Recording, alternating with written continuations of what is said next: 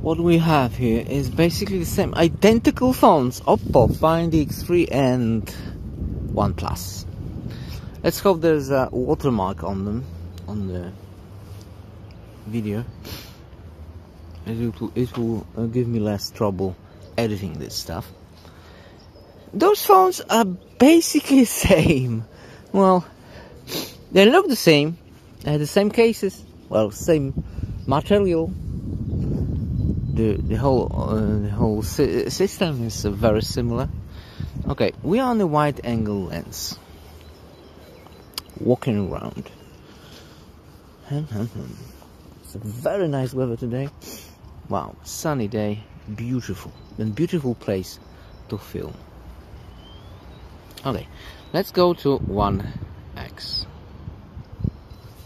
1x on one side and 1x on the other side. Now, now we are in the main lens. Let's hope Oppo doesn't get foggy. Well, it's quite warm, so if it gets foggy, that will be completely disaster for this, uh, for my Oppo. Maybe my Oppo is broken, I don't know. Because yesterday it was getting condensation under the lens, is ridiculous. Anyway,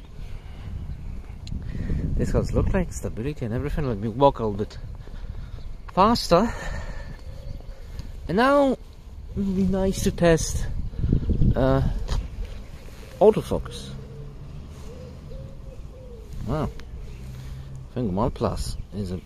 Is that, a OnePlus? Yes, that's the OnePlus. It's a bit faster. What do you think? Yeah. A bit faster for the OnePlus. Now, telephoto action. We can go all the way 20x in the Oppo and 10x on the OnePlus. Hmm. What is that? Okay, let's go back to, to 10x in the both phones. Well, similar distortions. Let's go back to one, but no. Oh, let's go back to the main lens And we are back in the main lens. Now I've spin the phones and this is full length of my arm. Sorry for the wind noise. It's, it's, getting windy. Full length of my arm in both phones. Can compare the colors. My jacket is blue, so it will indicate some colors in here. It's not too much colors. Okay, there's some. Well, green is everywhere. So there you go. Some green. Oh, we should do a telephoto on, on this one. Can, can, can do it again? Let's, let's do it again. Like 3x. That's 3x and 3x. Which one's better? Huh. I think Oppo is better. Okay, let's go back. And 1x. Those sliders are pissing me off should should be some numbers here. I mean the points when I can just press and it will return to the uh, previous position, not sliders. Alright, now we need to test front facing camera. That's what it is. Getting foggy up, I mean? No, that's great front facing camera. I can do wide angle on Oppo. I'm still checking out which one is which. Because uh, on the front, they're basically similar. Uh, and OnePlus, not really. I could change it. See? Still wider. Let me just change it again. So, uh, in the front facing department, Oppo wins. Well, wins because it's wider. That's what that's what it is. What about autofocus?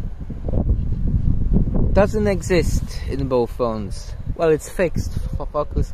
It's not like Samsung Galaxy, which has autofocus on the front, which is fantastic. I think iPhone also has that feature. uh, yeah, stabilization. How can you hear me? How can you see me? That is the question. Only Full HD in both phones in front facing camera, which is kind of retarded in this price range. Yeah, it's retarded. Why or why did they they not placing the 4K camera at the front? I don't get it. What about Sky? Basically same. What do you think? This looks like basically same smartphone. Just one is closer than, than another. Let, let, let me just do it closer. I think it's even same camera. Maybe not. Let me know in the comment below. Some pigeons. Okay, so I think that's all I have. Two smartphones. Very similar one.